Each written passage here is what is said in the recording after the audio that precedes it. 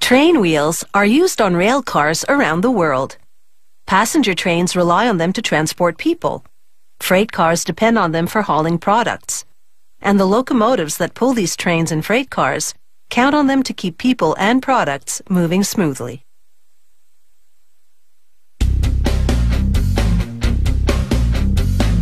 This company has been making train wheels and axles for over 150 years. To start, an electric furnace melts recycled steel at about 1600 degrees Celsius.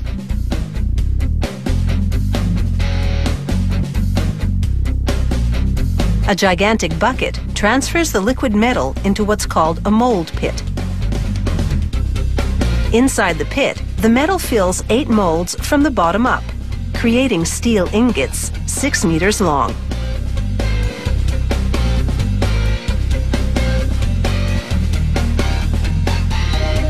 A bandsaw cuts the cooled ingots into sections called wheel mults. Each mult weighs about 450 kilograms. To prepare the mults for forming into train wheels, automated machinery loads them into one door of this rotary furnace and they exit the other side at some 1300 degrees Celsius.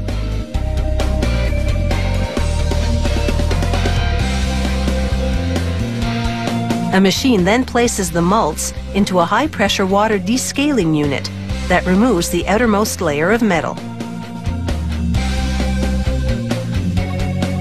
A press then squashes each mult like a marshmallow with 9,000 tons of pressure forging it into the rough shape of a train wheel.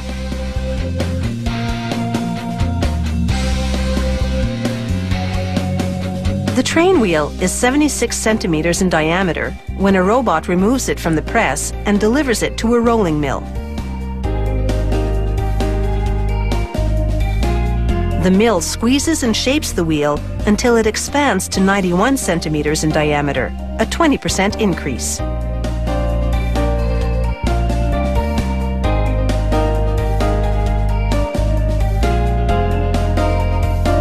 The train wheel then enters a final shaping press that punches out the hole where the axle will go. All excess material goes back to the melt shop for recycling. After heat treatment, a machine sprays the outside of the wheel with cold water, which hardens the steel.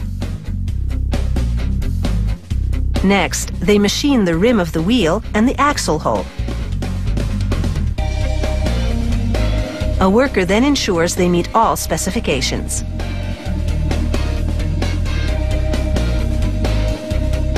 Identified and labeled, the wheels are now ready for the axles.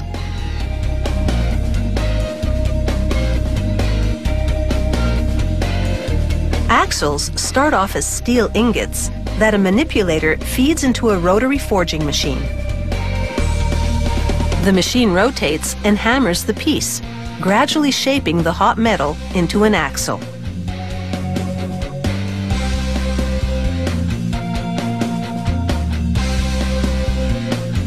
The manipulator and the forging machine work as a team, ultimately shaping the axle to the required diameter and length.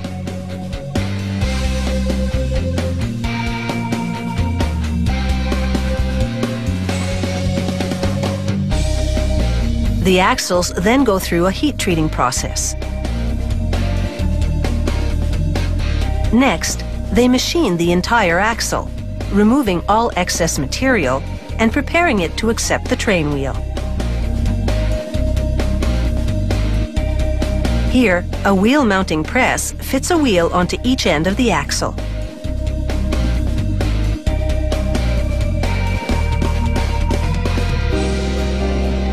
A worker lubricates the axle and attaches a bearing.